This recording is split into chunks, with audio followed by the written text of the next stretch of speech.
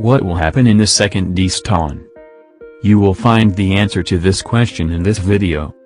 Then, without wasting much time, let's jump to our video right away. Before moving on to our video, those of you who love the series, hit the like button, let's see our number, folks.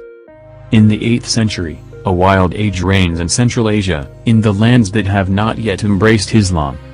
China has aimed its fangs at the Turkish leg, Russian Varangians, Mongols, Sogdians and Persians wait in the trap. To make matters worse, the Turkish tribes that call the same blood at him have fallen against each other. There is great enmity between the Gök Khanate and the Dag Khanate, both Turks. Under these political conditions, Alpagu Khan, the great Khan of the Gök Khanate, decides to take the daughter of his brother Bulamir Yavgu, of whom he suspects rebellion, as the wife of his lame son Batuga. He gathers his family and goes to the western Gök Khanate to ask for a girl.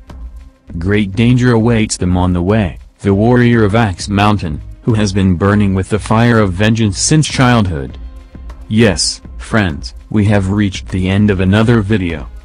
You can get to the official channel of the series from the cards and explanations section.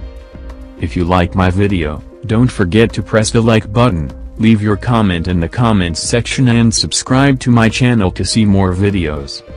See you in future videos. Bye.